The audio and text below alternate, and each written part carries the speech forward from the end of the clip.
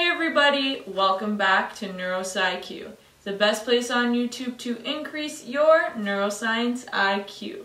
Today, we are going to be bringing you some neurotech news. Specifically, we are going to be talking about the first use of high bandwidth wireless brain-computer interface. But before we get into that, sit tight, stay tuned, let's roll the intro.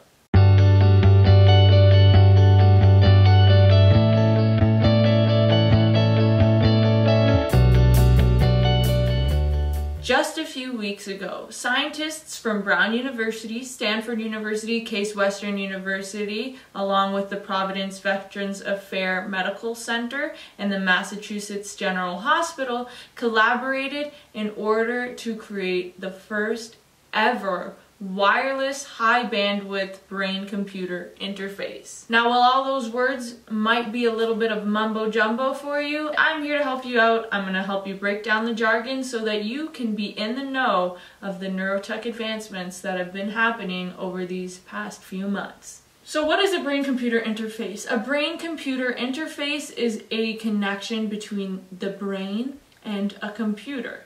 And while that might seem simple, how do we do that, and what purpose does it serve?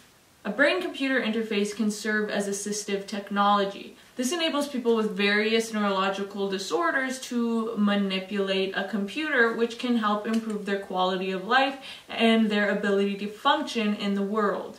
So a brain-computer interface can allow somebody with paralysis or multiple sclerosis or some other disorder to control a computer which can allow them to communicate to others or perhaps even control a prosthetic limb.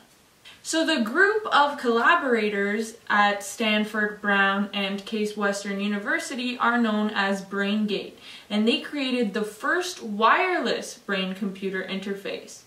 The significance of this is that the patient is no longer tethered to the computer. And so this can allow them to have more mobility and allow them to get back to more of a normal lifestyle. The BrainGate brain computer interface was cabled and so this tethered the individual to the computer. How this works is there's a micro electrode array which is surgically implanted over the patient's brain, then that is attached by a cable to an amplifier, which then is attached by a fiber optic cable to the neural signal processor.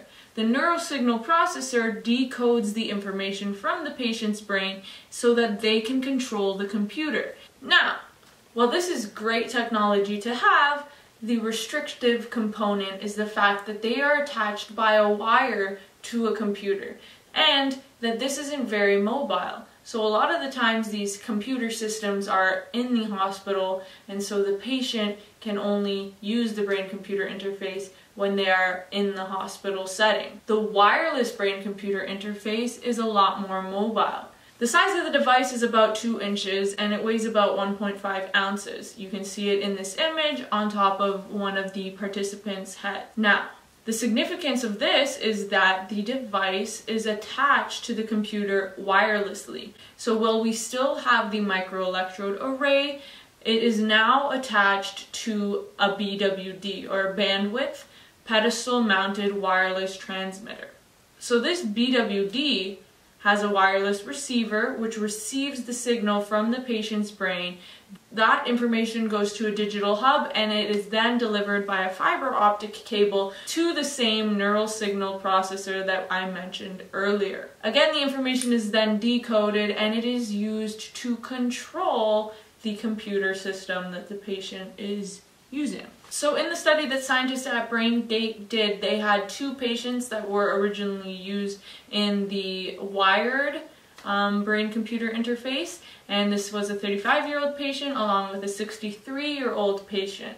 Around 200 electrodes were implanted on the patient's brains, and with the wireless transmitter, we have about a 36-hour battery life, so the scientists were able to record data for 24 hours.